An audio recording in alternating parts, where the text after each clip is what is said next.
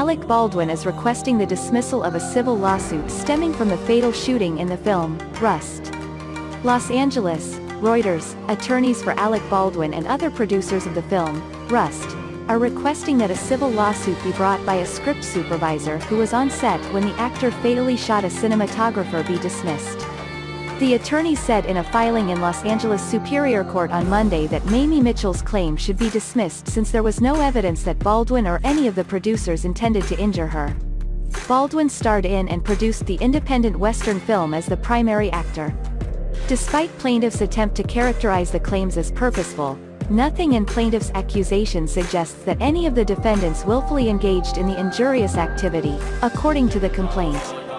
Baldwin should have checked the Colt .45 pistol he was holding to make sure it didn't have live ammunition, according to Mitchell, who filed a complaint in November.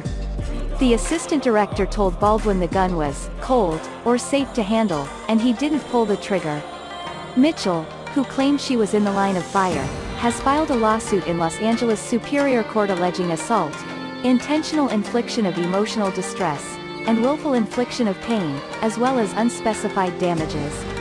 When the gun was discharged while Baldwin was practicing on the New Mexico film set, cinematographer Halyna Hutchins was killed and director Joel Souza was injured.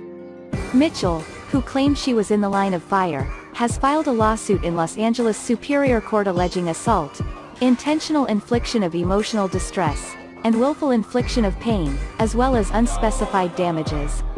Mitchell's lawyer, Gloria Allred, said on Tuesday that the claim should be allowed to proceed. She stated in a statement that the producers are seeking to avoid explaining their actions before a judge and jury in a court of law. Please subscribe to the channel and like of the videos. Thanks.